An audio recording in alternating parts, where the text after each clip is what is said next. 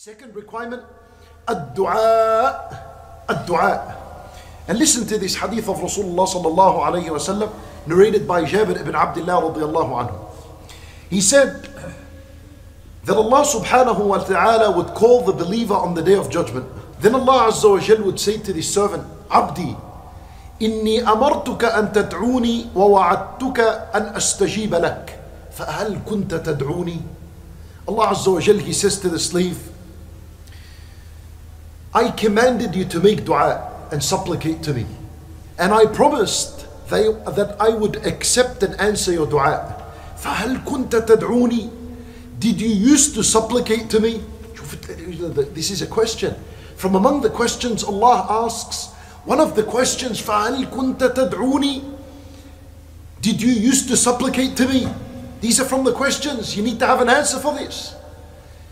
For did you used to raise your hand and say, Ya Rabb, Allahumma? Did you used to do that? For the servant says, Naam Ya Rabb. Yes, O Allah, I used to make dua. فيقول Allah عز وجل would say to him, أما إنك لم تدعوني بدعوة إلا استجبت لك. Allah عز وجل, He says to him, there is not a single dua you made except that I answered it for you. Shuf, Allahu Akbar. Every single dua you made, Allah accepted it for you. So now the slave, he knows that there was some dua in his life that weren't accepted. But was he, what is he going to say as he stands between the hands of Allah subhanahu wa ta'ala? He doesn't say anything. For Allah Azza wa Jal, he says to him, أليس دعوتني يوم كذا وكذا لغم نزل بك أن أفرج عنك ففرجت عنك Allah Azza wa Jal, He says to him, Didn't you make a dua on such and such a day? That I remove a distress, a calamity that has befallen you, and I removed it? For the servant was saying, Naam, Ya Rabb, I remember that day I made a dua. All the things were difficult, and I made a dua, and you removed the difficulty from my life. Allah Azza wa Jal, He says, فَيَقُولْ إِنِّي عَجَّلْتُهَا لَكَ فِي الدُّنْيا Allah Azza wa Jal would say, I rushed its reward for you in this life, and I gave you what you wanted. Then Allah Azza wa Jal would say to the servant, ودعوتني يوم كذا وكذا لغم نزل بك أن أفرج عنك فلم ترى فرجا And didn't you make a dua on such and such a day that I remove a calamity and a difficulty from you that had befallen you and I didn't remove it for you and you did not see relief?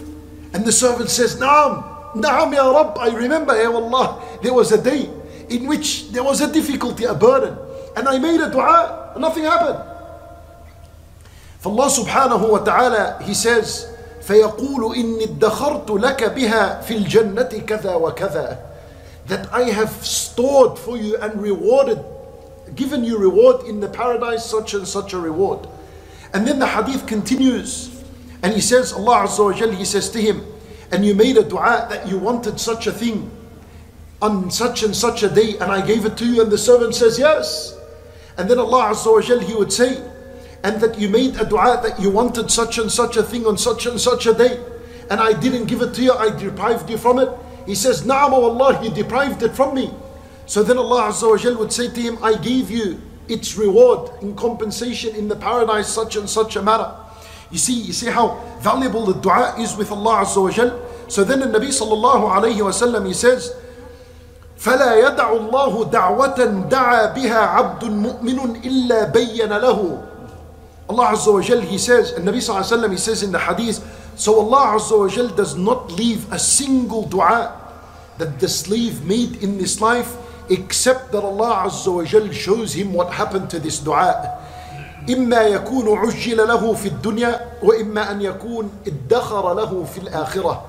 Either Allah Azza wa Jal hastened his request and gave it to him in this life, or Allah Azza wa Jal made it for him reward in the paradise. قال فيقول المؤمن في ذلك المقام At that moment as the believer stands between before Allah عز وجل he says يقول في ذلك المقام يا ليته لم يكن عجل له شيء من دعائه The believer would say I wish nothing from my dua was given in this worldly life I wish it was all given to me reward in the paradise because of what huge reward he sees that Allah Azza wa Jal has made and reserved for him in the paradise. Dua, this, this hadith, my brothers in Islam, teaches us the value of a dua that Allah Azza wa loves to hear Rabb from you. He loves to hear dua from you. And nothing goes to waste. And on the day of judgment, He'll tell you each and every single dua, what happened to it. All of it got accepted. He'll tell you which one was answered and which one was reserved as hasanat and reward for you in the paradise.